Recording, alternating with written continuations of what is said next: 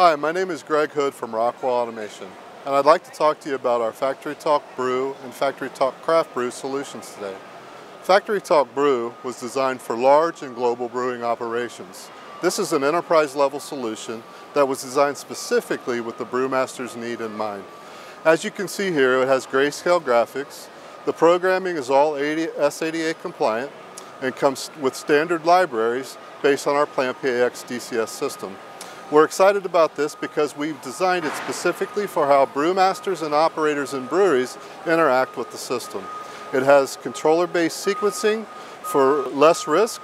It has reporting that's enabled during programming of the system, reducing costs and, and getting ROI quicker to the project.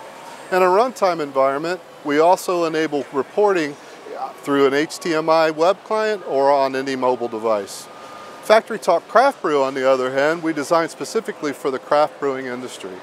With FactoryTalk Craft Brew, we were really conscious about how we designed the size of the system. And so it scaled down to be able to fit in some of our smaller controller platforms, uh, providing value at the cost affordable for the small breweries.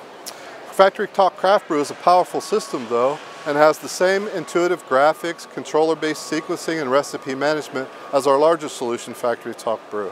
For more information about our brewing solutions and how we can help you achieve your um, goals within your brewery, go to rockwellautomation.com. Thank you and have a good day.